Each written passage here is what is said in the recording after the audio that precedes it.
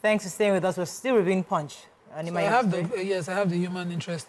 Um, so uh, a, a, businessman known as AGK Conversion he was kidnapped at his Ladipo spare part market on Saturday night. He was there taking inventory of goods that had just arrived around 12 a.m. And some armed men came in, attacked him, and um, all his workers left, and he was kidnapped. And also, the trader mem and members of the board of trustees of the market have um, confirmed that he, has, he was abducted and kidnapped from the market. Of course, this will make headlines in the Sun, and they're demanding. Another person was kidnapped, whose name I'm trying to get, and they're demanding 500 million naira ransom from, you know, the government. The Punch says that kidnapping has come to Lagos now, and that is popular, is being recorded in the mainland, yes. in Alimosho, in Amodofi. Yep. Is now, you know, before we used to think kidnapping was outside Lagos, but now it's here, and uh, sadly facing this. There's a new commissioner of police in Lagos, um, Fayo Ade, uh, Adegoke, and he's going to, of course, be faced with these new yeah, events that are coming up. Okay, so the Minister uh, of Steel Development, Abubakar Audu, was at the um, National Assembly yesterday defending his budget. And he was specifically talking about the $496 million settlement that was paid to an Indian company. So what yeah. happened was that um, the Indian company was given the uh, concession to um, get iron ore from the Itakpe, um, um, Itakpe Iron Ore Company. Um, unfortunately, instead of them to be providing that iron ore to Ajaokuta Steel for processing, they were exporting. Oh my God. They were exporting it. Now, of course, federal government shut it down. So 2016 to 2019, federal government shut them down and took them to court. Now, because federal government cancelled their agreement, we still need to pay for damages of 496 million dollars. So um, he was just he was he was just talking. He was just um, still take it back have to, pay. And so they, got, they, they, they already got their own judgment. Mm. However, the, the, the important thing is that he had to go defend his budget because obviously that was part of what he needed to um, replace. Um, Audu's submission, uh, one, one of the things he said that really infuriated one of the law chemicals is that they were still paying 1.5 billion naira salaries to a company that was not, um, they, were, they, they, were actually not, they were not producing any iron ore, and they were still paying companies. So, so I think it was uh, one of the lawmakers, I'm trying to see, see who it was, Akpoti Uduaghan, Mrs. Natasha.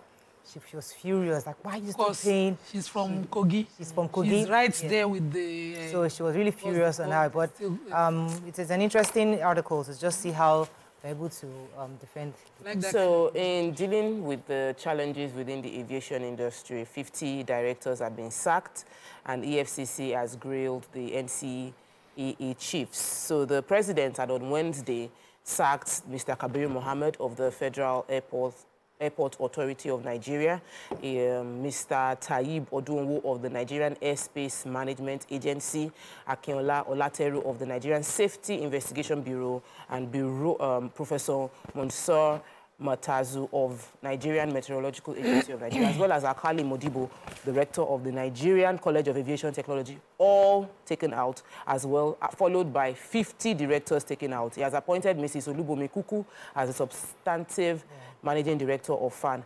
Following all these appointments is to revamp the aviation industry. Um, Punch has revealed that 50 directors have been affected by this, and the statement was signed by the head of press for the public affairs of the Ministry of Aviation and it's the, the, they said they should hand over to the most senior officers within their various directorate with mm. immediate effect. I'm looking forward. We, we, knew when these appointments took place that there were going to be issues because the appointment happened very late in the last administration and there were already aviation issues then. I'm, I'm, I'm really yeah. hoping that um, the Minister for Aviation, Festus Keyamo, is up and doing and very active. We need more yeah. things to happen within that yeah. industry. It's not looking good right now. Bill, mm. Daily Sun.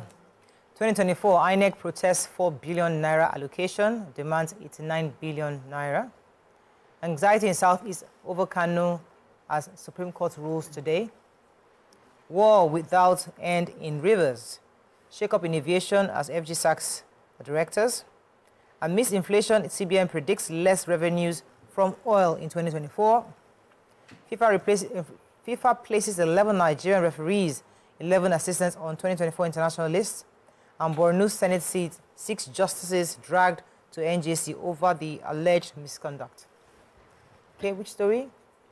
So um. I have a story here about customs. So the Controller General of the Nigerian Customs Service, Adewale Adeniyi, uh, disclosed that 70% of the services um, revenue comes from Lagos State. And according to him, the Lagos State government are planning new collaboration in order to enhance economic growth and prosperity of the entire country. He said this uh, yesterday in Lagos during the CGC 2023 conference with the theme leveraging data analytics for secure and efficient trade facilitation in customs operations. And according to him, he said Lagos houses 40% of the customs command in the country. And Lagos houses um, you know, also contributing over 70% of their monthly revenue.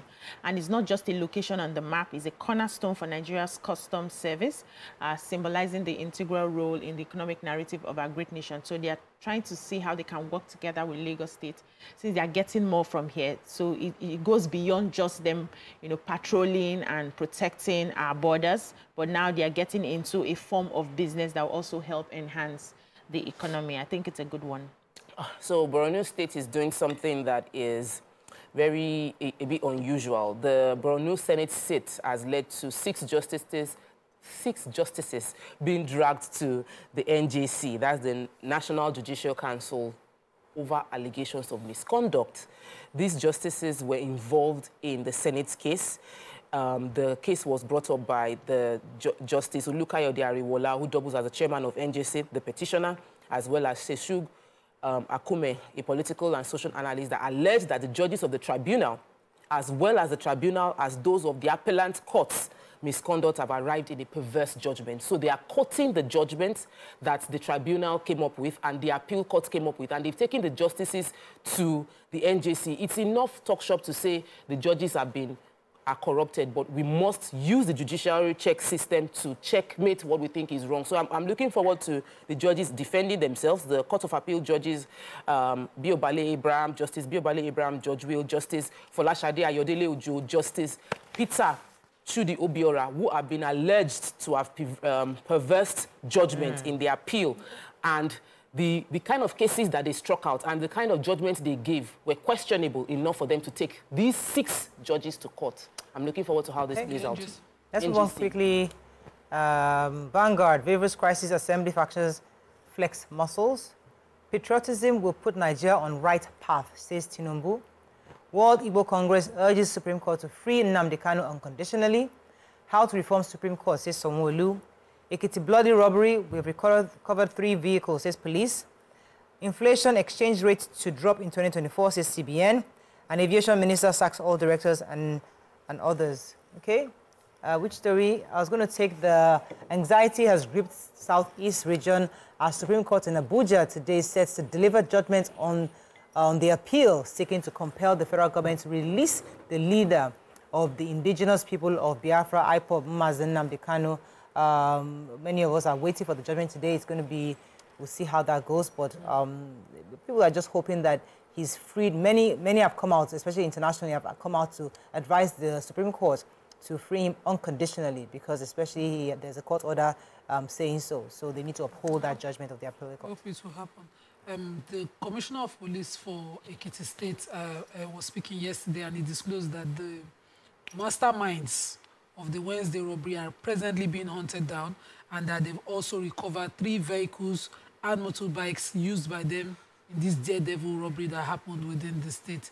He okay. guaranteed that they would push, they will find them no matter where they go. I'm hoping that they don't use this kind of thing to welcome the deputy governor mm. now that he's in office. Stress. Any other story in Vanguard? Um, so it says that in CBN has told the National Assembly that the soaring inflation and exchange rates would drastically decline in 2024. He was speaking yesterday when appearing before the um, Senator Tokunbo Abiru APC-led um, APC Lagos East head uh, says the led Senate Committee on Banking Insurance. He said that the total trade from Nigerian um, Forex um, market stood at 18.8 billion naira in the third quarter. Cardoso said that the outlook for the domestic economy remains positive and expected to maintain the positive trajectory for 2024. Uh, inflation pressures may persist in the short term, but it's expected to decline in 2024. Exchange rate pressures are also expected to reduce significantly with the smooth functioning of foreign exchange markets. We really hope that's true. okay, that's all we can take on front page review. When we come back, move on to our next segment. Stay with us. We'll be right back.